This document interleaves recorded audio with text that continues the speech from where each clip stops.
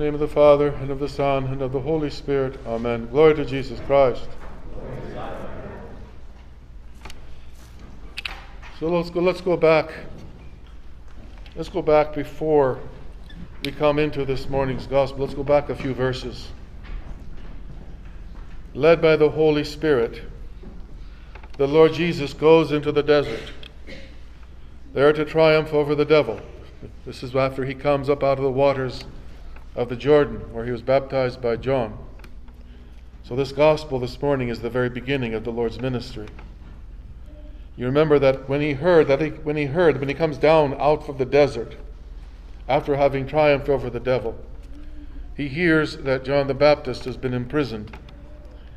And it's as though this is some kind of a prophetic signal that the time is now at hand. For it's when he hears that John the Baptist was betrayed and handed over to Herod and put into prison, that's when he goes up in Galilee from Nazareth, where he was living with his mother. I don't know if Joseph was still alive by now, but certainly he was living with his mother in Nazareth, there in Galilee. And he goes from Nazareth, which is in the south of Galilee, up to Capernaum, which is the north of Galilee, and there by the Sea of Galilee.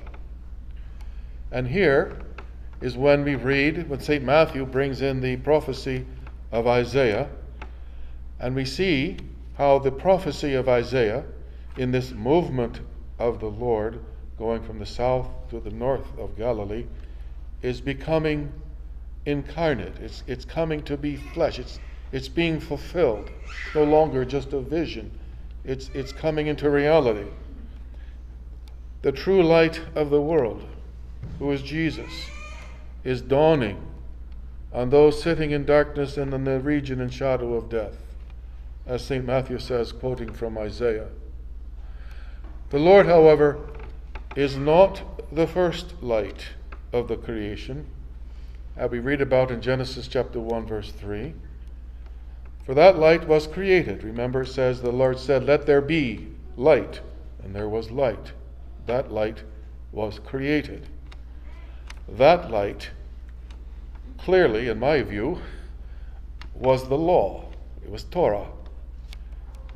And the law, the Torah, as we read in the Epistle to the Hebrews, was the divine shadow cast by the uncreated light, who, as we read in the Gospel of John, was coming into the world. And so this morning, we are reading about the Lord Jesus Christ, the true light of the world. Not obviously coming into the world, he's already come into the world, but now he's making himself manifest. He's dawning. He's, he's, he's, he's shining on the world. It's, it's, like the, it's like the new creation that he's about to create, that he's not about to, that he is creating. It's like the new creation is now dawning. The Sun of righteousness, Christ our God, is coming up. He's going up from the south to the north. He's going up to Capernaum as the uncreated Sun, rising on the world that he is now creating anew. And how does he create the world anew? He creates the world anew by clothing himself with her as with a garment, so that she might clothe herself with him. But what is this clothing as with a garment but an embrace? Is it not the Lord encircling his bride in his warm embrace so that she, as Eve, just as he had promised her in the garden of old, can find her refuge in him, in him as her Lord. He is the new Adam. He is her kinsman, as we read in the Song of Songs.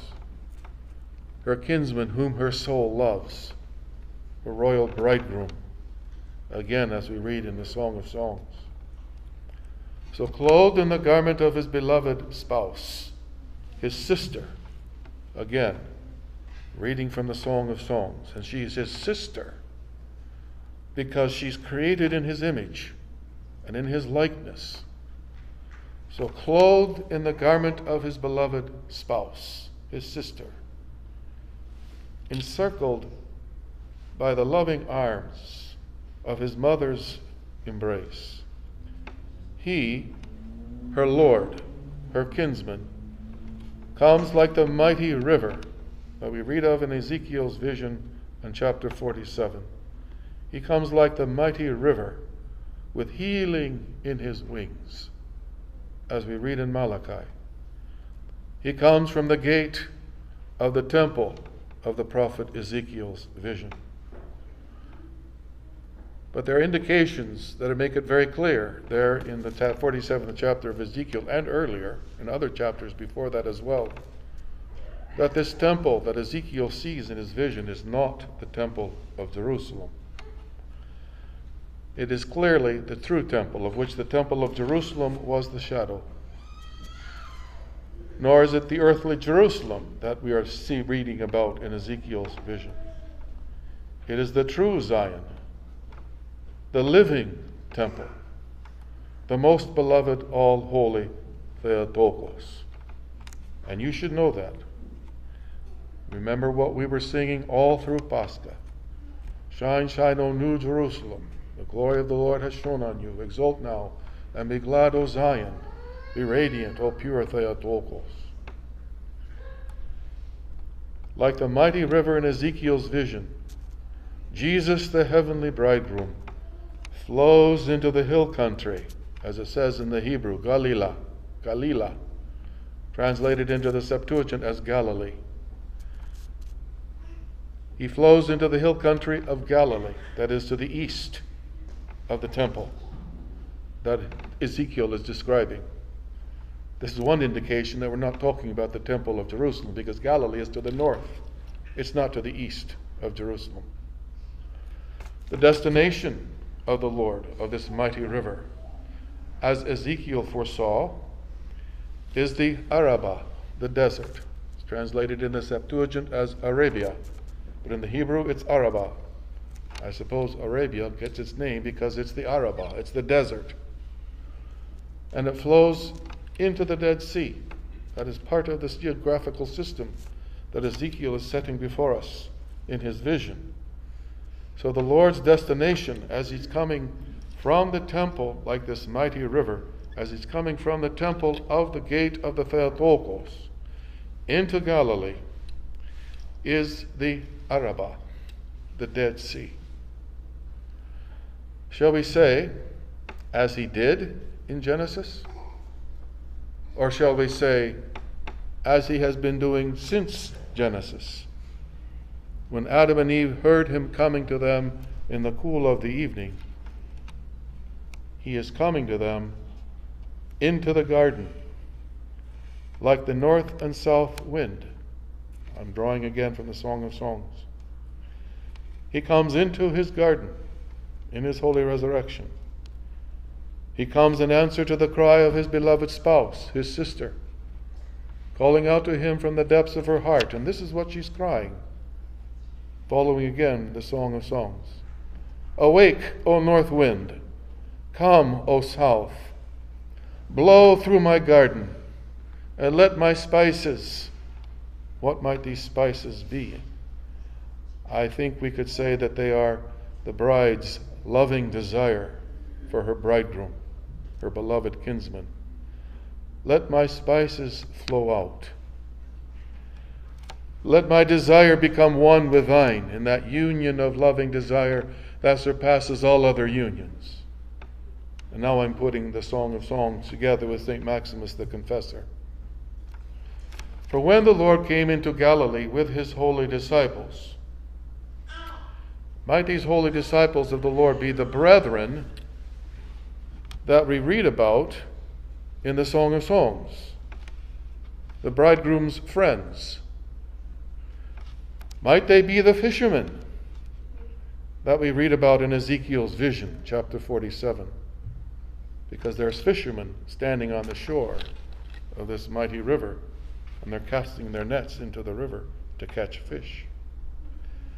So when the Lord comes into Galilee with his holy disciples, on the plane of the visible, well, he was coming into Galilee.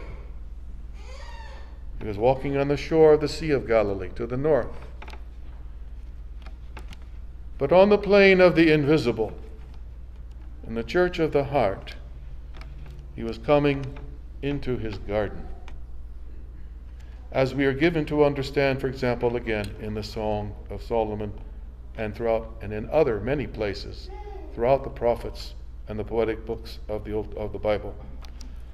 For in the time of the Bible, Galilee, this hill country that was to the north of Jerusalem, because of the abundance of her rain and because of the many streams that flowed through her lush valleys down from her snow topped mountains, which included Hermon and Carmel and Tabor, and because of the fragrance of her cedars of Lebanon, which was on the west part of Galilee. For all of these reasons and others, Galilee was loved in the Old Testament as a garden. From the encomiums of Galilee that we find in the prophets and in the poetic books of the Bible, whenever you read in the Bible about Hermon or Carmel, um, Lebanon, um, those in particular, but there are some other phrases that also have are, meaning Galilee. When you when, when I read the encomium the encomiums pertaining to Galilee in the prophets and in the poetic books of the Bible, I get the clear sense that Galilee is a veiled image of Eden, even of Eve, the very self of Adam. Remember, Eve comes forth from inside of Adam. And when he sees her, he says immediately, This is bone of my bones, flesh of my flesh. She shall be called Isha, woman, for she was taken from man. So Galilee is like a veiled image, not just of Eden, but even of Eve, the innermost self of Adam, in her original virginal beauty.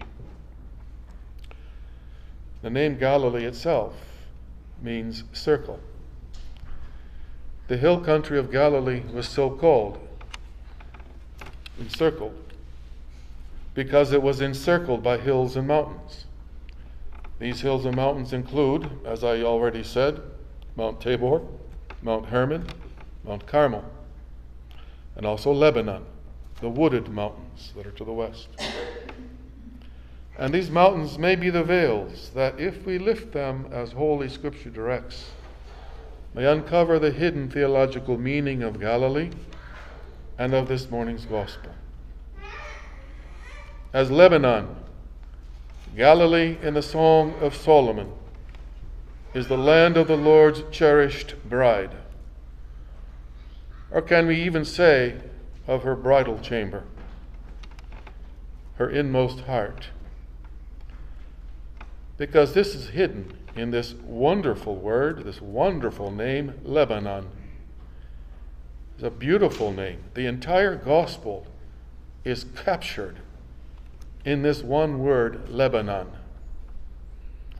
Lebanon itself means whiteness, or I guess I'm not, and it has to do with making bricks. I don't know how whiteness is associated with making bricks but that's one of several meanings whiteness.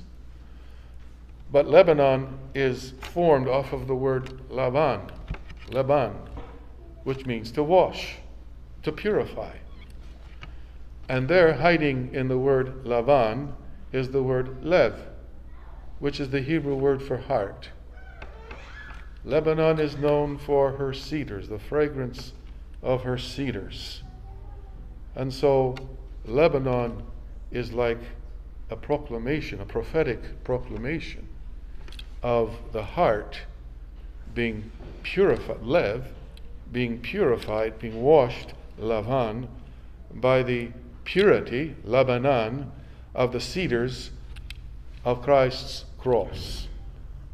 The cross of the Lord was composed of three different woods all of which may have been from Lebanon the cedar, the cypress, and the pine.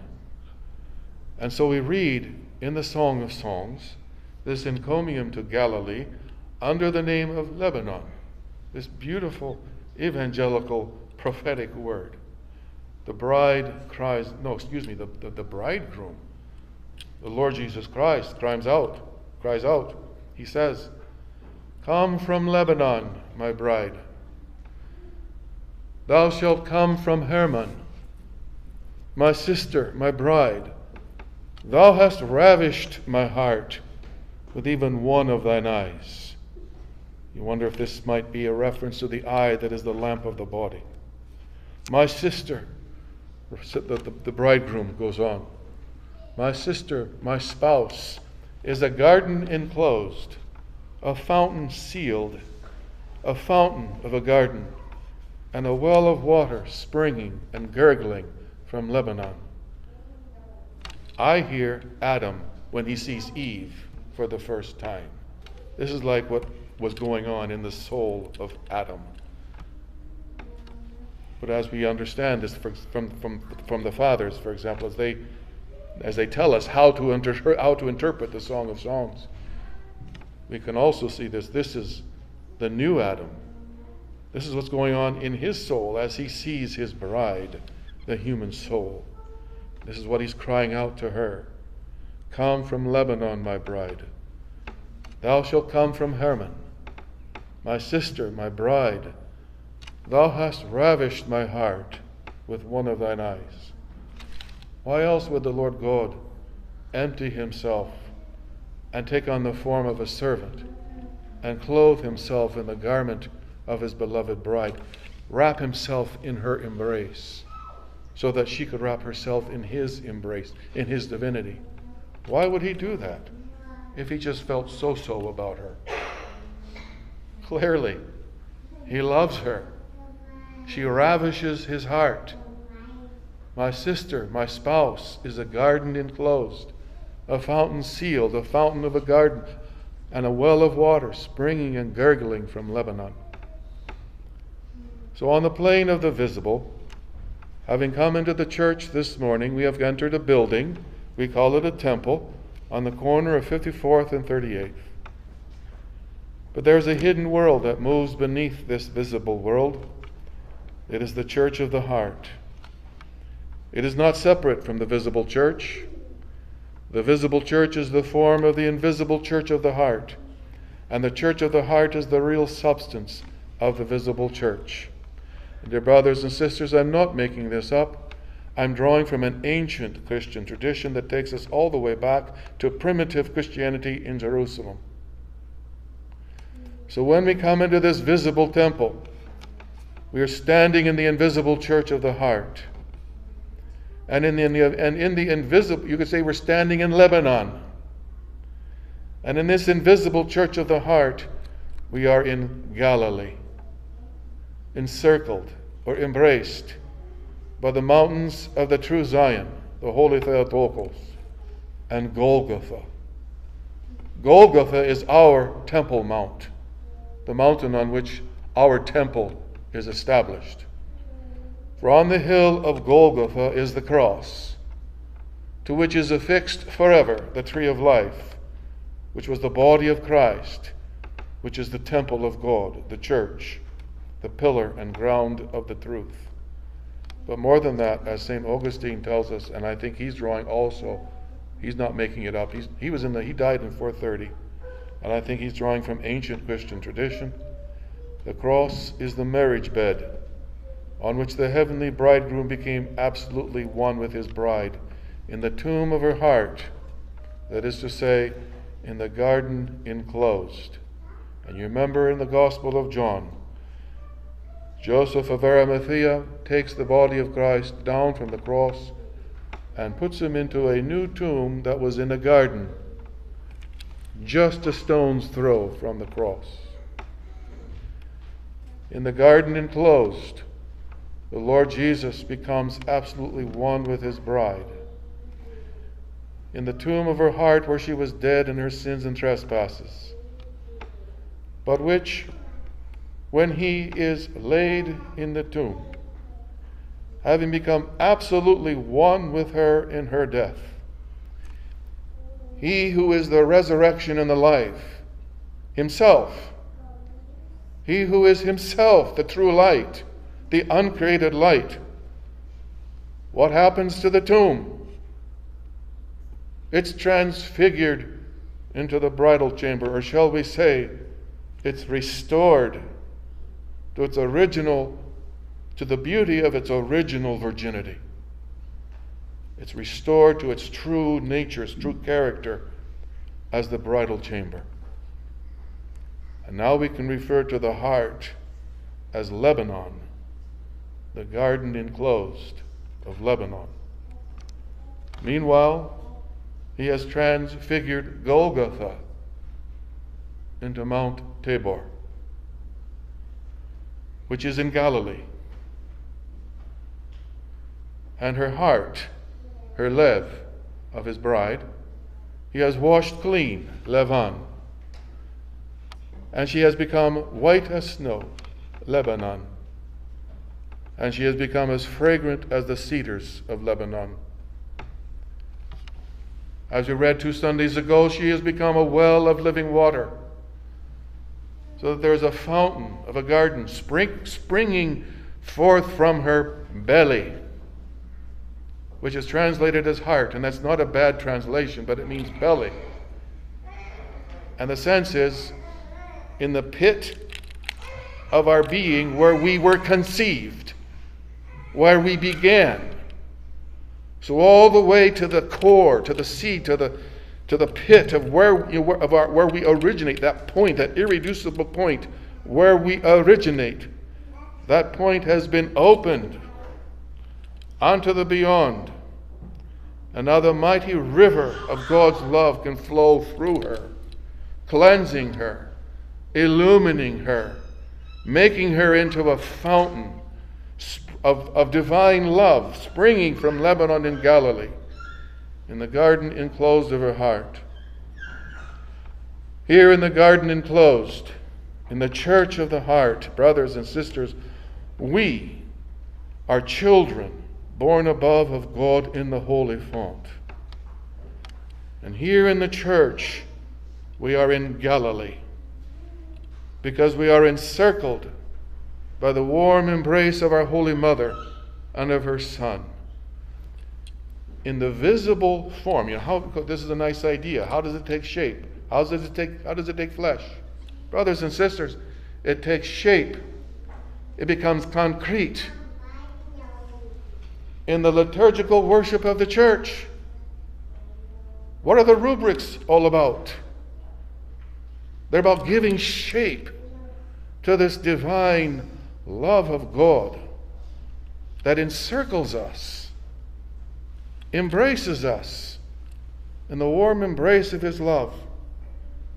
We don't just do the rubrics of the, we're not t- attentive to the rubrics just because we're, you know, we're, what, we're fussy. The rubrics are the incarnation of the love of God. So when we come into the church and we begin to do the worship, and we attend to the rubrics, the movements of the church, you make the sign of the cross.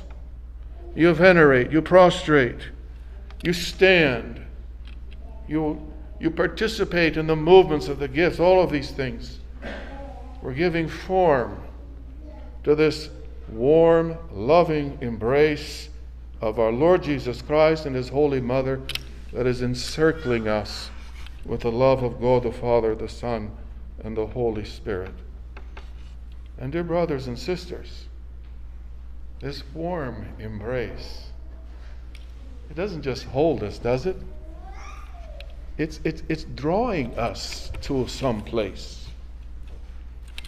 It's wanting to bring us someplace.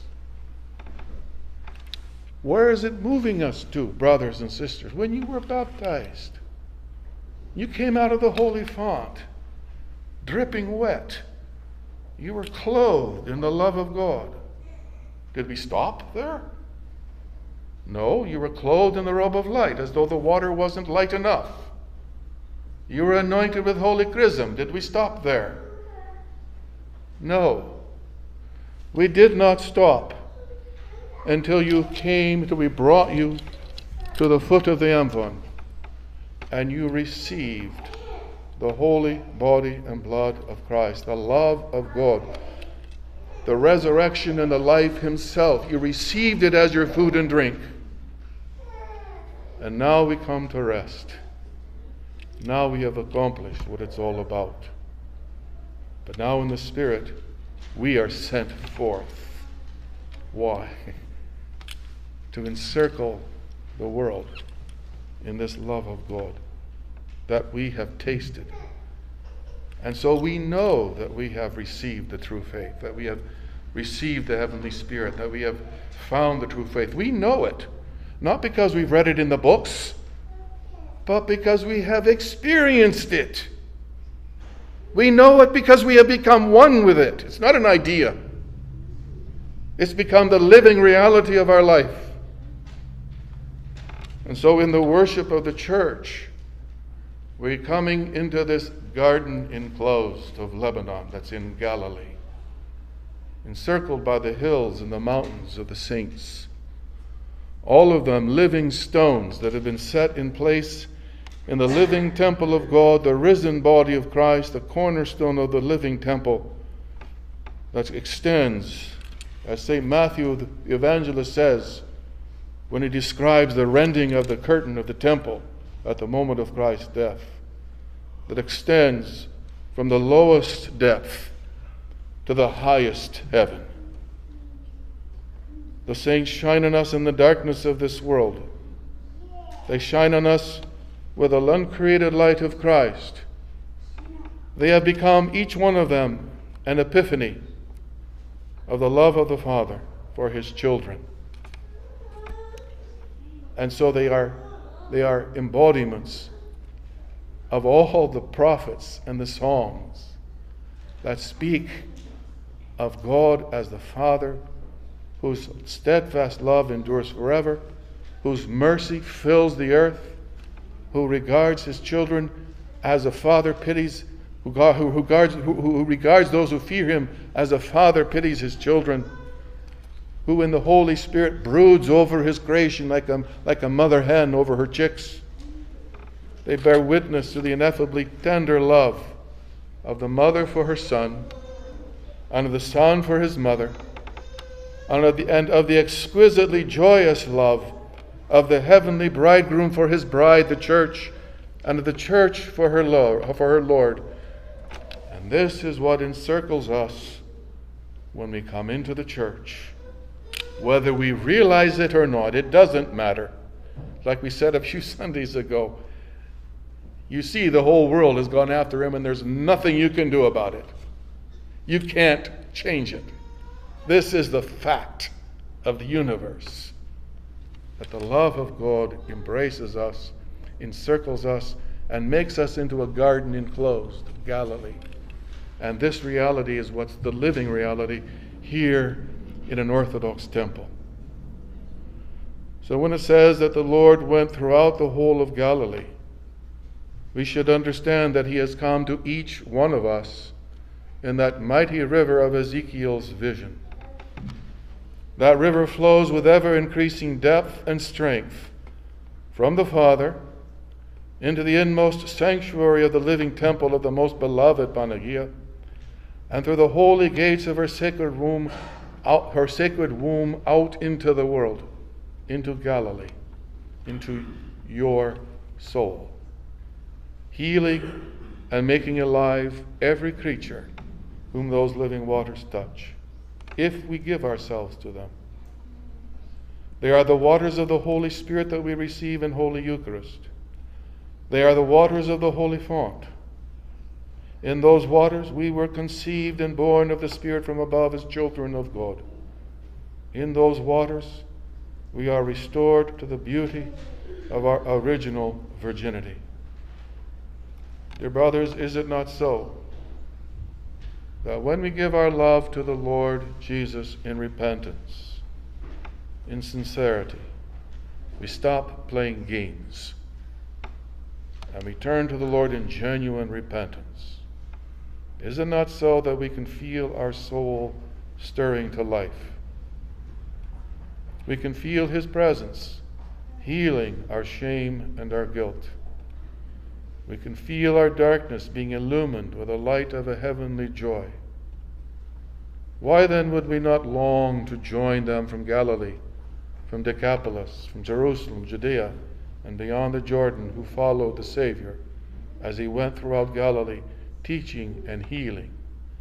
His teaching heals, his healing teaches wisdom. The Lord Jesus goes forth from Lebanon. He goes forth from the heart, the human heart, the tomb of the heart, now a bridal chamber, as a bridegroom in procession. In the powerful current of his mighty river, the Holy Spirit, the love of God, he would bear us up and carry us to our own land. Where? In the hill country of Galilee, the garden enclosed encircled in the embrace of the Holy Trinity, His Holy Mother, the apostles and prophets, and all the saints. Amen. Glory to Jesus Christ. Nos save us.